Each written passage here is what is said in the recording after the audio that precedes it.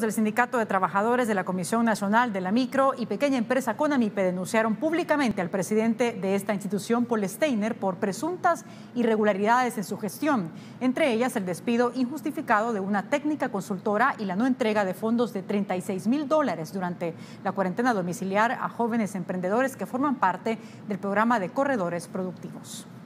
Donde están involucrados nueve emprendedores a los cuales se hizo todo el proceso que tiene Conamipe para hacer la entrega.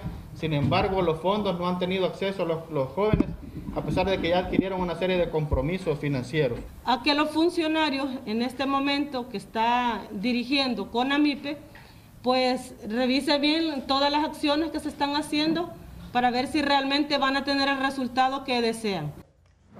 Asimismo, denunciaron que con esta nueva administración las metas para los técnicos consultores han incrementado. Señalaron que han realizado una serie de llamados a las autoridades, pero hasta el momento no han tenido respuesta.